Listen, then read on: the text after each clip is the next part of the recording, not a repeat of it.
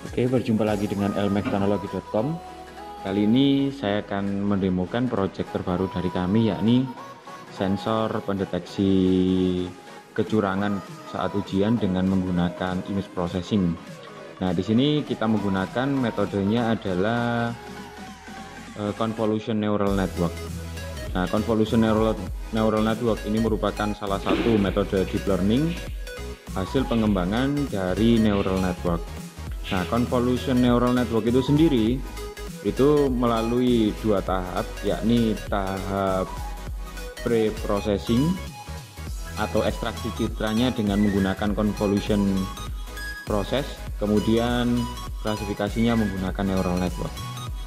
Oke, kita coba run ya programnya. Nah, seperti ini. Jadi, saya sudah memberikan dua dataset, dataset yang e, normal dan curang. Nah, di sini saya sudah menentukan bahwa ketika si peserta e, apa namanya dia menoleh ke arah kanan dan ke kiri, maka sudah ditentukan bahwa dia curang saat ujian. Nah, ketika kondisinya dia itu merunduk merunduk atau menghadap ke depan, maka dia e, di datasetnya itu kita kategorikan masuk dalam sebuah kelas e, tidak curang atau normal. Nah ini ada contohnya ya.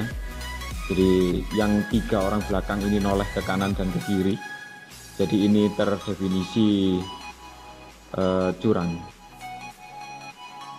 Oke untuk download projectnya silahkan hubungi di elmekteknologi.com terima kasih